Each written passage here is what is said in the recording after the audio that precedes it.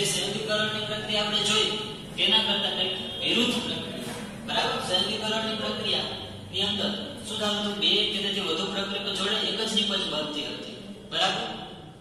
તો વિઘટન પ્રક્રિયા તેનાથી ઉલટી છે કે એક જ પ્રક્રિયામાંથી ઘણી બધી વધુ સરળ નિપજો બને, બે કે તેથી વધુ નિપજો બને, તો તેને કહેવાય વિઘટન પ્રક્રિયા. બરાબર? તો તેની વ્યાખ્યા જોઈ લઈએ. રાસાયણિક પ્રક્રિયાના પ્રકાર એમાંથી બીજો પ્રકાર વિઘટન પ્રક્રિયા. તો એની આ પ્રકારની એક પ્રક્રિયા થતી હશે કે એ એટલે એક જ પ્રક્રિયક અને તેમાંથી બી પ્લસ સી બે કે તેથી વધુ. તો આવી પ્રક્રિયાને કહેવાય વિઘટન પ્રક્રિયા. બરાબર? વ્યાખ્યા જોઈ લઈએ. કે જ્યારે પ્રક્રિયકમાંથી વધુ નિપજો મળે, બરાબર? એક જ પ્રક્રિયા. એમાંથી બે કે તેથી વધુ નિપજો મળે તેને વિઘટન પ્રક્રિયા કહે છે.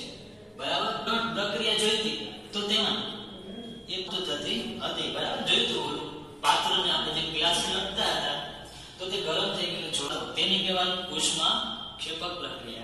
બરાબર? એટલે કે સંધિકરણની પ્રક્રિયા. ક્ષેપક પ્રક્રિયા હોય છે. અને આ વિઘટન પ્રક્રિયા તેનાથી ઉલટી હોય છે. બરાબર? એટલે કે વિઘટન પ્રક્રિયા, તેમાં ઉષ્મા આપણે આપવી પડે છે, બરાબર? કોઈ પણ પદાર્થનું વિઘટન કરવાનું હોય, તો તેમાં કાં તો ઉષ્મા દ્વારા વિઘટન થાય, કાં તો પ્રકાશ દ્વારા વિઘટન થાય, કાં તો વિદ્યુત આપી અને વિઘટન કરવામાં આવે છે, બરાબર? એટલે કે આ વિઘટનની પ્રક્રિયા છે તે ઉષ્મા લઈ અને વધુ સરળ નિપુજોમાં વિઘટન થાય છે. એટલે કે વિઘટન પ્રક્રિયા, તે ઉષ્મા ક્ષેપક નહીં, પણ ઉષ્મા શોષક પ્રક્રિયા છે. બરાબર? સંયોગીકરણ પ્રક્રિયા છે એની. ઉલટી સંયોગીકરણ ઉષ્મા ક્ષેપક છે. ત્યાં ઉષ્મા શોષક છે. તેમાંથી એક પ્રવૃત્તિ જોઈ લઈએ કે કસનળીની અંદર તમારે ફેરસ સલ્ફેટ કસનળીની અંદર શું લેવાનું છે ફેરસ જે લીલા રંગ અથવા તો આછા લીલા રંગનો સ્ફટિકમય પદાર્થ છે. બરાબર? ખાંડના દાણા જેવો સ્ફટિકમય પદાર્થ છે. તેને એક બર્નર વડે શું કરવાનું છે? ગરમ બરાબર એટલે કે ઉષ્મા આપવામાં આવે તો તે ફેરસ સલ્ફેટ ઘણી બધી બીજી નિપજોની અંદર વિઘટન થાય છે પહેલા તો ફેરસ સલ્ફેટ જે લીલા રંગનો પદાર્થ છે તેનો ગરમ કરતા તેનો શું થાય છે લીલો રંગ બદલાય છે કેવો થાય છે કથાઈ જેવો બરાબર બીજું કે આ કસનળીની અંદર કંઈક વાયુઓ ઉત્પન્ન થતા હોય એવું જોવા મળે છે.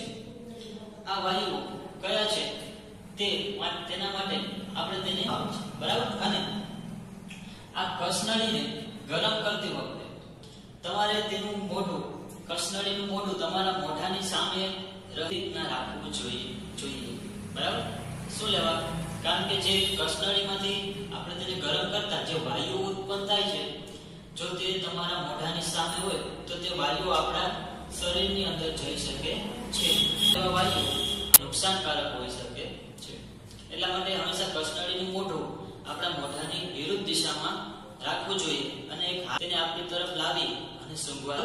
તો આ વાયુઓને સૂંઘતા તે ખરાબ વાસવાળા વાયુઓ જોવા મળે છે. આ વાયુઓ કયા છે?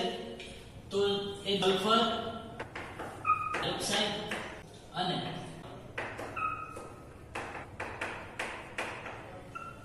ડાયોક્સાઇડ વાયુઓ હશે બરાબર? તો ત્યાં જોઈ તેનું સમીકરણ લખીએ.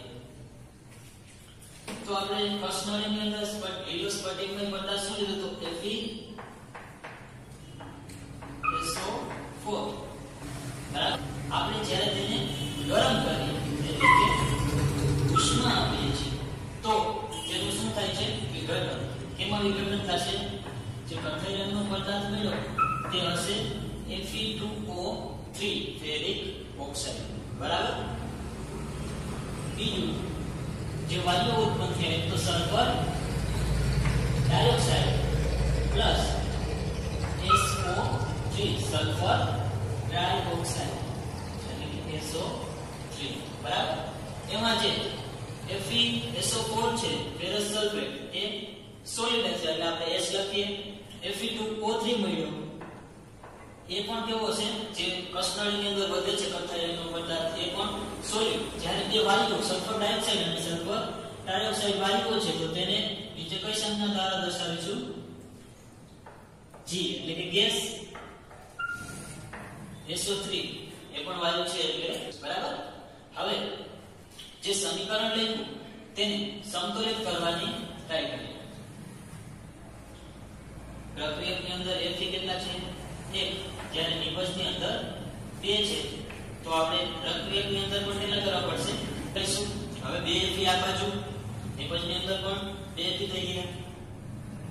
હવે S કેટલા છે? આની આગળ કેટલા 2 છે? એટલે S કેટલા છે? 2 તો આમાં જોઈ લઈએ એક દીપજની અંદર પણ બે છે. એટલે કે સલ્ફર પણ સંતુલિત છે.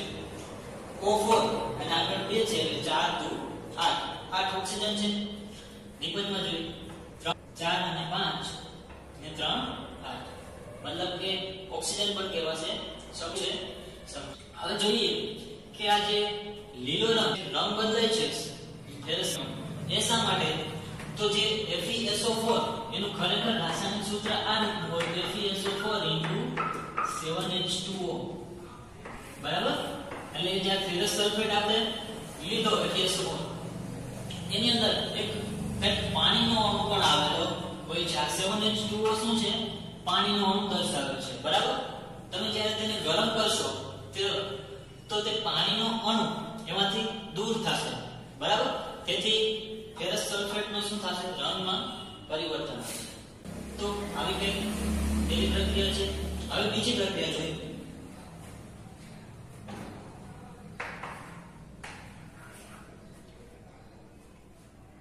બીજી પ્રક્રિયામાં લઈ CaCO3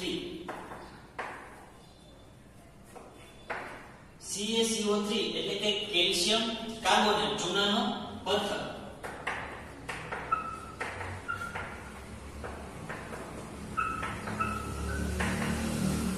બરાબર ચૂનાના પથ્થરને જ્યારે ગરમ કરવામાં આવે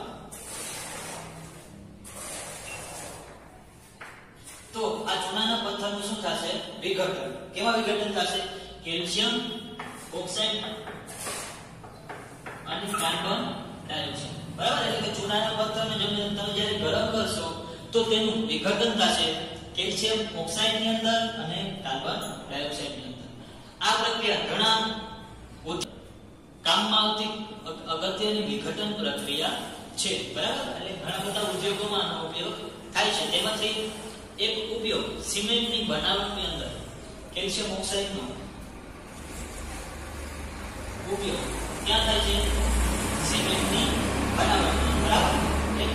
અંદર પ્રશ્ન પૂછી શકે કે કયા પદાર્થનો ખાલી અથવા તો ખાલી જગ્યા પદાર્થનો ઉપયોગ સિમેન્ટની બનાવટની અંદર છે તો તેમાં શું આવશે કેલ્શિયમ ઓક્સાઇડ બરાબર આમાંથી જે કેલ્શિયમ કાર્બોનેટ છે તે સોલિડ હશે કેલ્શિયમ ઓક્સાઇડ એને કહેવાય ચૂનો અથવા તો કડી ચૂનો એ પણ કેવો હશે સોલિડ અવસ્થાનો જ્યારે કાર્બન ડાયોક્સાઇડ એ ગેસ બરાબર? એટલે છે એના પછી એક પ્રવૃત્તિ જોઈએ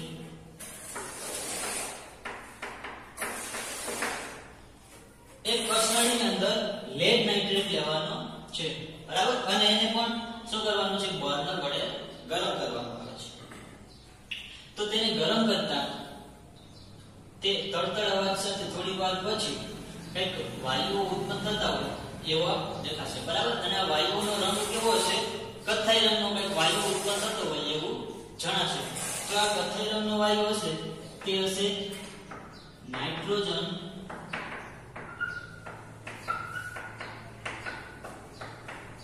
ડાયોક્સાઇડ. બરાબર? જેનો રંગ હોય કથ્થાઈ, બરાબર?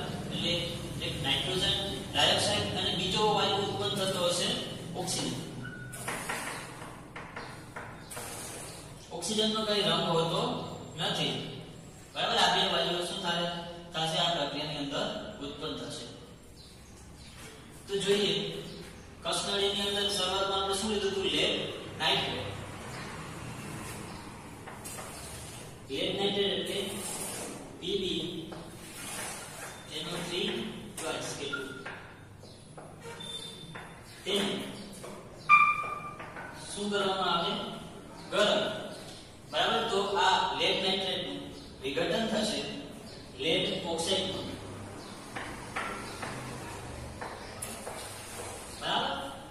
કસનાળીની અંદર વચ્ચે ભરતા એ લેડ ઓક્સાઇડ વચ્ચે અને બે વાયુઓ શું થશે ઉત્પન્ન હવે જે પેલો વાયુ કયો છે? નાઇટ્રોજન ડાયોક્સાઇડ એટલે કે NO2 બરાબર? NO2 બીજો બીજો વાયુ ઉત્પન્ન થાય O2 ઓક્સિજન. બરાબર? આમાંથી જે લેડ નાઇટ્રેટ છે, તે કેવો અવસ્થામાં છે સોલિડ એટલે S લખશું. લેડ ઓક્સાઇડ એ પણ કેવી અવસ્થામાં છે સોલિડ જ્યારે આ બંને કેવા છે? વાયુ. એટલે શું લખશું જી બરાબર આ સંતુલિત છે નહીં, તો આપણે એને સંતુલિત કરીએ. તો તેના માટે આપણે ઓક્સિજનથી શરૂઆત કરીએ. ઓક્સિજન O3 અને 2 એટલે 6 ઓક્સિજન પ્રક્રિયકની અંદર છે. તો આ બાજુ પણ કેટલા જવા પડે? 6 જોઈએ 1 2 3 4 5 5 છે. તો શું કરશો? આ આપણે 2 લગાવી તો કેટલા થાય? 2 4 અને 6 બરાબર? ઓક્સિજન સંતુલિત છે. હવે આ લેટને સંતુલિત કરવાની શરૂઆત કરીએ. તો લેટ આ બાજુ 1 છે. જ્યારે ડિપોઝિટની અંદર 2 છે, તો આ બાજુ પણ કેટલા બરાબર છે 2 બરાબર? તો આ બે કર્યા તો ઓક્સિજનની સંખ્યા પણ બદલી ગઈ. તો શું કરશું? કેટલા ઓક્સિજન થઈ ગયા? 12 આ બાજુ કેટલા હતા? 2 4 અને 6 શું કરશું? આ બાજુ પણ કેટલા બરાબર છે 12 અને 4 એટલે કે 2 અને 4 2 8 તો 10 10 ની 2 બરાબર? એટલે ઓક્સિજન કેવા આવે સંતુલિત. હવે કોઈ થયો નાઇટ્રો નાઇટ્રોજન? તો નાઇટ્રોજન આ બાજુ કેટલા છે? 2 2 4 તો આ બાજુ પણ 4 તો હવે આ સમીકરણ કેવું છે? સંતુલિત. બરાબર? થઈ. વિઘટન પ્રક્રિયાના ઉદાહરણ. બરાબર? અને આ વિઘટન પ્રક્રિયામાં આપણે જે ઉષ્મા આપી છે, ત્યારે આ બધા જ પદાર્થ ઓક્સાઇડની અંદર પરાવર્તિત થાય છે. જો આપણે આ ફેરસ સલ્ફેટનું ઓક્સિજન સોરી ફેરસ સલ્ફેટ ને જ્યારે ગરમ કર્યું તો તેનું ફેરિક ઓક્સાઇડની અંદર વિઘટન થયું. બરાબર? ફેરિક કેલ્શિયમ કાર્બોનેટ એનું પણ કેલ્શિયમ ઓક્સાઇડ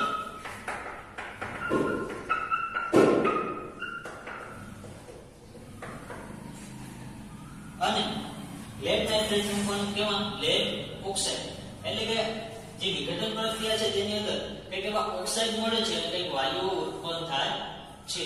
બરાબર? આ બધી જ પ્રક્રિયા આપણે શું કહ્યું છે? વિઘટન પ્રક્રિયાની અંદર ઉષ્મા આપી અને એનું વિઘટન કર્યું છે. એટલે જે પ્રક્રિયા, જે પ્રક્રિયામાં ઉષ્માની મદદથી વિઘટન થતું હોય, બરાબર? ઉષ્મા આપી અને વિઘટન થતું હોય તો તેવા વિઘટનને કહેવાય ઉષ્મીય વિઘટન. બરાબર? હવે આપણે એમાં બીજું જોઈશું કે વિદ્યુતીય વિઘટન, જે વિદ્યુત પ્રવાહની મદદથી વિઘટન કરવામાં આવે તો તેને વિદ્યુત વિઘટન, તો તો વિદ્યુત વિઘટન કહે છે. તે હવે જોશું. બરાબર?